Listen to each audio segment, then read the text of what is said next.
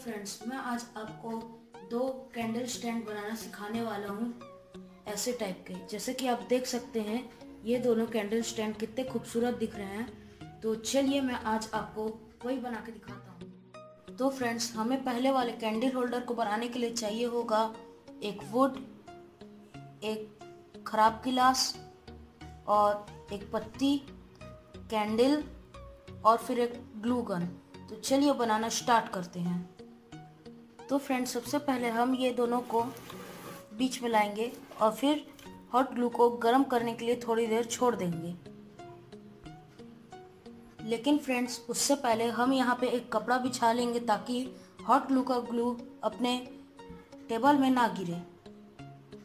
तो फ्रेंड्स अपने को करना क्या है सिंपली हम अभी इसे किनारे रख देंगे और फिर एक लकड़ी उठा के उसमें थोड़ा सा हॉट ग्लू गन लगाएँगे।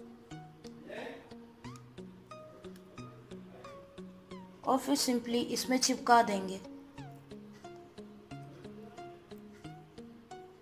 तो मैं इसको सभी में लगाऊँगा, ये लकड़ियाँ को।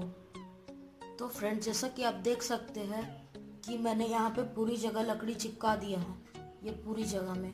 अब इसे थोड़ी देर सूखने के लिए रहने देते हैं। तो फ्रेंड जैसा कि आप देख सकते हैं, हमें एक नेस्टिंग मटेरियल का भी ज़रूरत होगा, इसे फिनिशिंग टिप देने के लिए। तो चलिए यूज़ करते हैं इसे। तो फ्रेंड्स हमें इसे यूज़ कैसे करना है? सिंपली हमें इसे थोड़ा थोड़ा फैलाना है।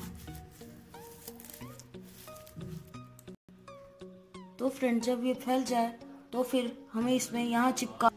तो जैसे कि आप देख सकते हैं फ्रेंड्स मैंने इसे पूरा लगा दिया है।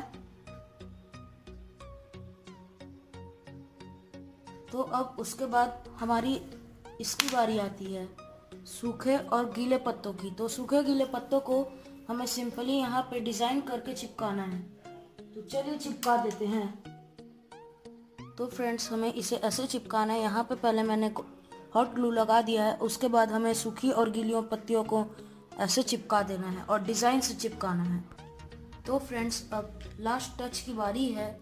अब हमें इसमें कैंडल डालना है। तो चलिए डालते हैं कैंडल इसे अलग अलग जगह पे अच्छे से फैला दें।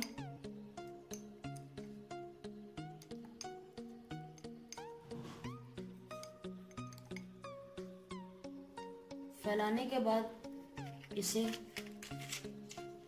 जला दें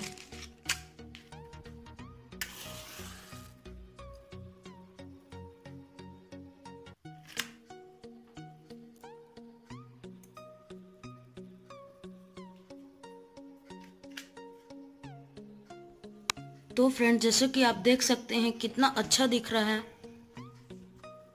इसे आप अपने घर के डेकोरेशन में ज़रूर रखेगा। ये बहुत ही अच्छा दिखेगा। जब भी आपके घर में कोई भी गेस्ट आएँगे तो।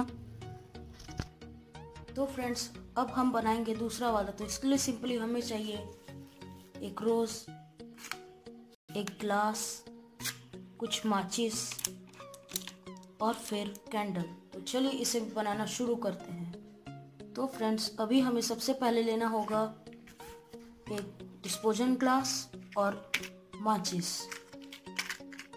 उसके बाद हमें इसे हॉट ग्लू से ऐसे लगाना होगा।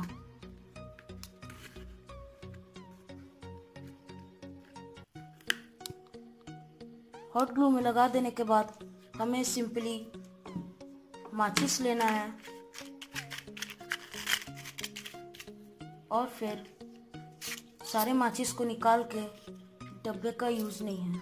उसके बाद माचिस को आपको ऐसे चिपकाना होगा। आपको इसे पूरे जगह चिपकाना है।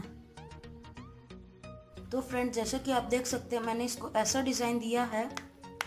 उसके बाद हमें सिंपली करना क्या है? हमें एक नकली को, नकली फ्लावर लेना है और इसे इसमें ऐसे करके चिपका देना है। इस साइड